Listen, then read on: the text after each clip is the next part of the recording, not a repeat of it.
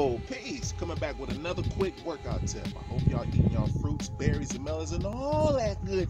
You know what I'm talking about. Alright, so bam, we back on getting the guns swung. You like, shit, I ain't got no weights. We in quarantine. I don't know what the hell to do. Well, I still can go outside and go to the park. Let me go do this. So, I'm gonna show you the right way to get your guns swole. All three heads of the triceps and the biceps. What? Alright, come on. Sometimes when